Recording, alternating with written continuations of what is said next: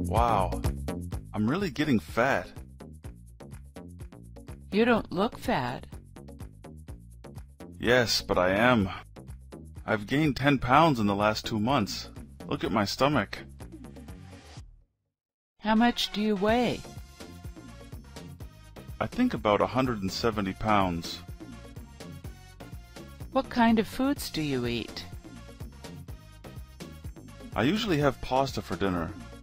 Sometimes I get takeout or fast food if I don't have enough time to cook.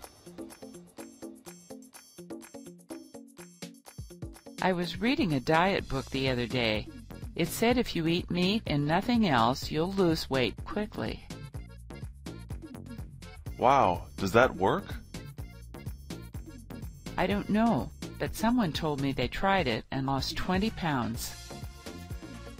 That sounds good, but I'm not sure how long I could do that. I know. Once you start eating vegetables and bread again, you'll probably start gaining weight. Well, I think I'm going to try it anyway.